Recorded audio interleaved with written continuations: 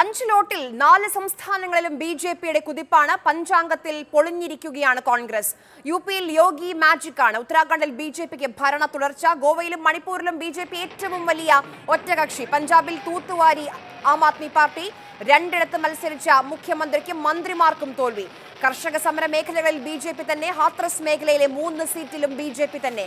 ഉത്തരാഖണ്ഡിൽ മുഖ്യമന്ത്രി പുഷ്കർ സിംഗ് ധാമി തോറ്റു മുൻ മുഖ്യമന്ത്രി ഹരീഷ് റാവത്തും തോറ്റു. ഡൽഹിയിൽ നിന്ന് പി ബസന്ത് ഉണ്ട് വിവരങ്ങളുമായി ആദ്യം. ബസന്ത് രണ്ടായിരത്തി ഇരുപത്തിനാലിലേക്കുള്ള ഒരു സെമി ഫൈനലാണ് ഇതിനെ കണ്ടത്. ഈ സെമി ഫൈനലിൽ ജനങ്ങൾ നൽകുന്ന ഉത്തരം എന്താണ്? ആര്യ രണ്ടായിരത്തി ഇരുപത്തിനാലിലെ ലോക്സഭാ തെരഞ്ഞെടുപ്പിന്റെ ദിശാസൂചിക തന്നെയായിരുന്നു ഈ നാല് ക്ഷമിക്കണം അഞ്ച് നിയമസഭാ തെരഞ്ഞെടുപ്പുകളും.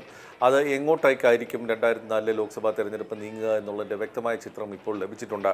ബി ജെ പി പോൾ പൊസിഷനിൽ അല്ലെങ്കിൽ മേൽക്കൈ വ്യക്തമായി തന്നെ നേടിയിരിക്കുന്ന ഒരു സാഹചര്യമാണുള്ളത്. പ്രത്യേകിച്ച് ഉത്തർപ്രദേശ് ഉത്തരാഖണ്ഡ് തുടങ്ങിയ ഹിന്ദി ഹൃദയഭൂമിയിൽ തന്നെ ബി ജെ പി തങ്ങളുടെ ആധിപത്യം വീണ്ടും ഉറപ്പിക്കുന്ന ഒരു കാഴ്ചയാണ് നമുക്കിപ്പോൾ കാണാൻ കഴിയുന്നത്.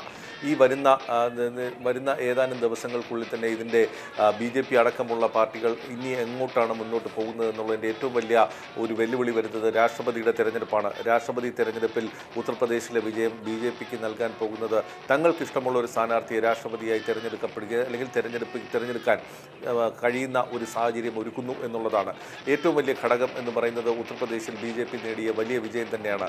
മൂന്ന് പതിറ്റാണ്ടിന് ശേഷം ബി ജെ പി വീണ്ടും ഉത്തർപ്രദേശിൽ തുടർച്ചയായി രണ്ടാം തവണ അധികാരത്തിൽ വരുമ്പോൾ അതൊരു വലിയ ചരിത്രം തന്നെയാണ് എന്നുള്ള കാര്യത്തിൽ യാതൊരു സംശയവുമില്ല.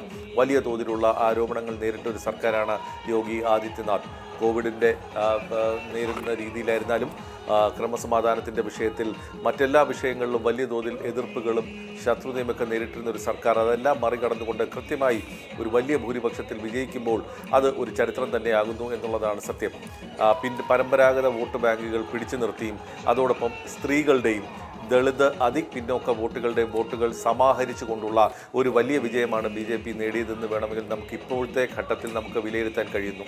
ഞാൻ നമ്മൾ നേരത്തെ സംസാ ചർച്ച ചെയ്ത പോലെ തന്നെ ക്രമസമാധാനം അതോടൊപ്പം തന്നെ ഈ ലോക്ക്ഡൗൺ കാലഘട്ടത്തിൽ നൽകിയ റേഷൻ അതായത് ഭക്ഷ്യധാന്യങ്ങളുടെ വിതരണം അതോടൊപ്പം തന്നെ തങ്ങളുടെ പരമ്പരാഗത അതിപിന്നാക്ക വോട്ടുകൾ പിടിച്ചു നിർത്താൻ കഴിഞ്ഞു എന്നുള്ളതാണ്. സമാജ്വാദി പാർട്ടിയുടെ നേതൃത്വത്തിൽ സ്വാമി പ്രസാദ് മൗര്യ അടക്കമുള്ള അതിപിന്നാക്ക നേതാക്കളെ ബി ജെ പിയിൽ നിന്ന് കൊണ്ടുപോയപ്പോഴും അവരുടെ വോട്ട് ബാങ്കിനെ പിടിച്ചു നിർത്താൻ ബി ജെ പിക്ക് സാധിച്ചു എന്നുള്ളതാണ് ഉത്തർപ്രദേശ് നൽകുന്ന സന്ദേശം എന്നുള്ള കാര്യത്തിൽ യാതൊരു സംശയവുമില്ല. അതോടൊപ്പം മായാവതിയുടെ ഒപ്പം ഉണ്ടായിരുന്ന ദളിതുകളെയും സ്വാധീനിക്കാൻ അല്ലെങ്കിൽ ഒപ്പം കൂട്ടാൻ ബി ജെ പിക്ക് കഴിഞ്ഞു എന്നുള്ളതും ഈ വിജയത്തിന്റെ ഒരു മറ്റൊരു ഭാഗം കൂടിയാണ്. മായാവതി എന്ന് പറയുന്നത് പൂർണമായും ഉത്തർപ്രദേശ് രാഷ്ട്രീയത്തിൽ നിന്നും ബി എസ് പിയും തുടച്ചു നീക്കപ്പെടുന്ന ഒരു സാഹചര്യമാണ് ഇപ്പോൾ നിലവിലുള്ളത്. ഉത്തരാഖണ്ഡിലേക്ക് പോവുകയാണെങ്കിൽ അവരുടെ മുഖ്യമന്ത്രി സ്ഥാനാർത്ഥിയെ പരാജയപ്പെടുത്തുക എന്നുള്ള കൃത്യമായ കടമ ഇത്തവണയും ഉത്തരാഖണ്ഡുകാർ നിർവഹിച്ചിരിക്കുന്നു. പുഷ്കർ സിംഗ് ധാമി പരാജയപ്പെട്ടു. അതോടൊപ്പം കോൺഗ്രസിൽ നിന്നുള്ള ഉത്തര മുഖ്യമന്ത്രി സ്ഥാനാർത്ഥി ഹരീഷ് റാവത്തും പരാജയപ്പെടുന്ന ഒരു സാഹചര്യമാണുള്ളത്. പക്ഷേ അവിടെയും ബി ചരിത്രം കുറിച്ചിരിക്കുന്നു. വീണ്ടും ഒരു സർക്കാരിനെ അധികാരത്തിലേറ്റാറില്ലാത്ത ഉത്തരാഖണ്ഡ് ജനത വീണ്ടും ബി ജെ പിയെ അനുഗ്രഹിച്ചിരിക്കുന്നുവെന്നാണ് വ്യക്തമായ ഭൂരിപക്ഷത്തോടെ തന്നെയാണ് ബി ജെ പി ഇത്തവണയും ഉത്തരാഖണ്ഡിൽ ജനങ്ങൾ അധികാരത്തിലേറിയിരിക്കുന്നത്. പഞ്ചാബിലേക്ക് വരുമ്പോഴാണ് ചരിത്രം മറ്റൊരു രീതിയിലേക്ക് പോകുന്നത്. കോൺഗ്രസ് എന്ന് പറയുന്ന വടപക്ഷം അവിടെ തകർന്നു വീഴുന്ന ഒരു കാഴ്ചയാണ് നമുക്കിപ്പോൾ കാണാൻ കഴിയുന്നത്. ആം ആദ്മി പാർട്ടിയുടെ മുന്നിൽ പൂർണമായും പരാജയപ്പെടുന്ന ഒരു കോൺഗ്രസിനെയാണ് നമുക്കിപ്പോൾ കാണാൻ കഴിയുന്നത്.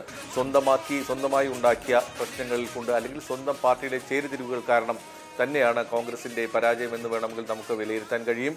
അമരീന്ദർ സിംഗിനെ മാറ്റിയുള്ള ഒരു പരീക്ഷണത്തിൽ കോൺഗ്രസ് പരാജയപ്പെടുന്നു. അതിന്റെ ഉത്തരവാദി ആര് എന്ന് ചോദിച്ചാൽ രാഹുൽ ഗാന്ധിയും പ്രിയങ്ക ഗാന്ധിയും തന്നെയാണ് എന്നുള്ള കാര്യത്തിൽ സംശയമില്ല.